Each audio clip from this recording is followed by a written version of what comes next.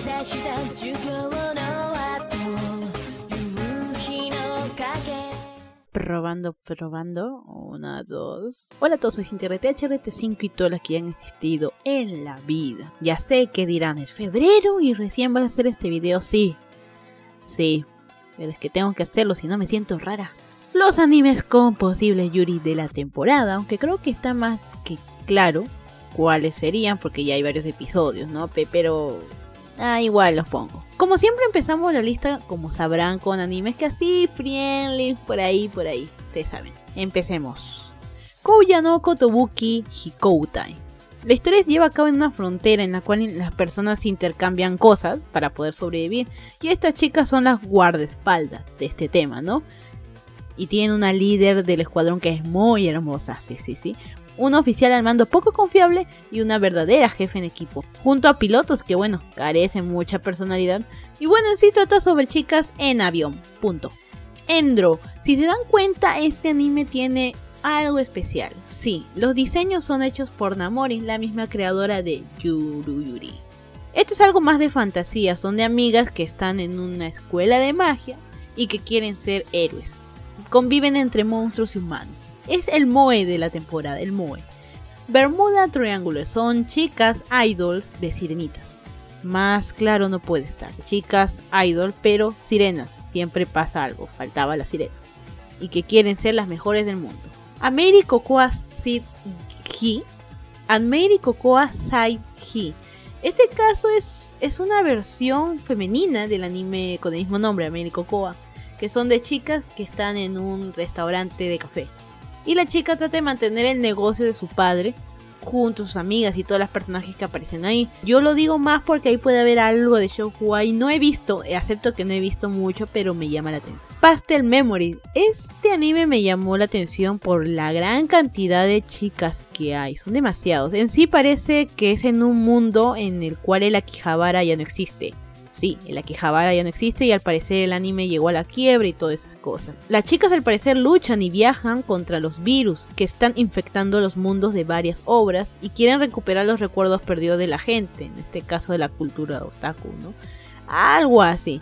Pero el hecho de que Akihabara esté muy caído eh, me, duele, me duele.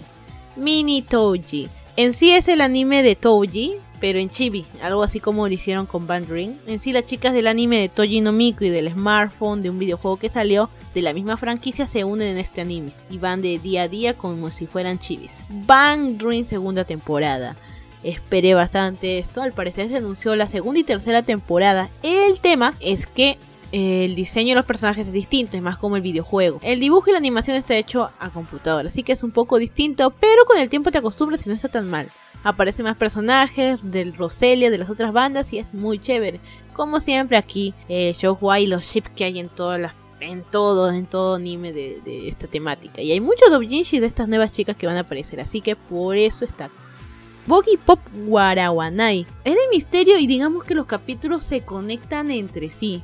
De un orden distinto. Esto me gusta, me gusta bastante. Ahora el tema es de que en el opening aparece algo. Yuri. Hay un beso, güey. Hay un beso. Pero el tema es de que son la misma persona. Y ahí como que ah, me podría hacer pensar de que puede pasar algo. Por ahí va a pasar algo. No lo sé. Me quedé en el capítulo 3, así que más de eso no lo sé. Así que le doy una oportunidad por el opening. Te doy oportunidad, opening. Egao no Daika. Este es un planeta muy, muy lejano de la Tierra. Hay un reino repleto de sonrisas. La princesa Yuki, que es ella, que tiene 12 años, comienza a vivir en esa montaña rusa de emociones, que es la adolescencia.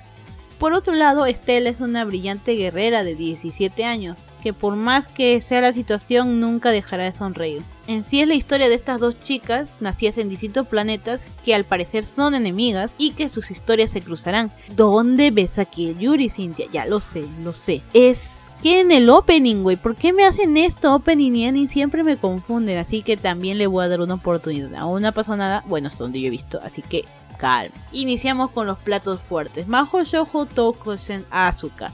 Las chicas mágicas gore, yo le llamaría así. Bueno, no tan gore como otro, pero es eh, chicas mágicas militares. En sí se trata de una chica mágica que ya dejó en sí, colgó los botines, las punches de las chicas mágicas y quiere ser un alguien normal, pero como siempre no se puede.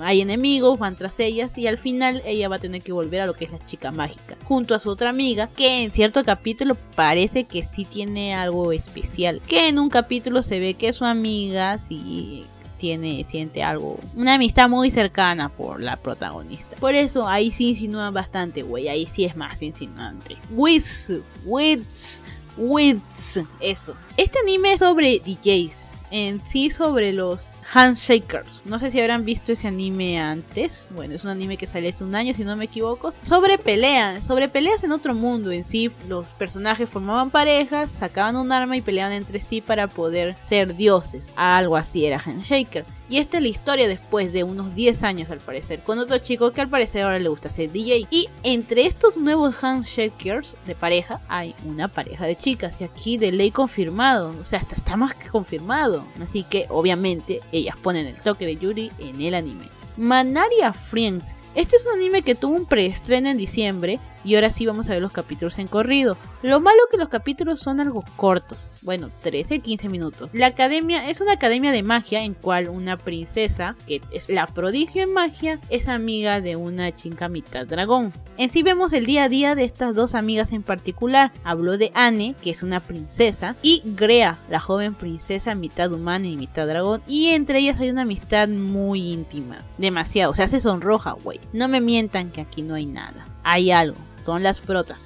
Kakeguru y XX, bueno, volvió Yabami Yumiko, esta vez con las apuestas y por el trono a la presidencia del Consejo Estudiantil, como he repetido muchas veces. Acá es más explícito, por favor, ese ending ese ending el que trátenme de dar una explicación no jurística en esta escena. No la hay, no existe, no hay. Bueno, en sí también van a animar al parecer el arco de las torres. Ese arco lo espero porque es re Yuri, re Yuri. Para los que no conocen Kakeguru, y es un anime en el cual en una escuela todo se maneja a través de las apuestas y Yumeko es una adicta a las apuestas. Y por último, pero no menos importante, Watashi ni Tenshi ga Mayoritai. Nuestra querida Miyako es una chica muy tímida, universitaria muy tímida, que tiene su hermana, sí, su hermanita, que un día trae a su amiga, Hana, que es muy linda y al parecer esto le chocó a Miyako y sintió por primera vez, digamos, un gusto a primera vista. Porque es una chica universitaria y una loli. Y bueno, ella le encanta hacer cosplays y le gusta vestirla y tomar fotos de todos los ángulos. Y en serio, aquí se han pasado. Hay muchas cosas aquí, escenas que se juegan. Y bueno, Hannah hace cualquier cosa con tal de que le den dulces. Con tal de que le den dulces, ella es feliz. Y luego va a decir, Cintia, pero esto es algo de lolis, que la la la. Sí, lo sé, lo siento. Y no es que esté imaginando cosas, Yuri, es que de verdad pasan. O sea, no explícitamente, pero en modo de broma. Y además, esta historia es basada en un manga. Y este manga se publica en la Yuri Hime. La Yuri Hime es la misma revista en la cual sale Citrus. O sea, no me vengan. Y bueno, en sí es comedia y es muy gracioso. Es uno de los animes que va a dar que hablar en la temporada.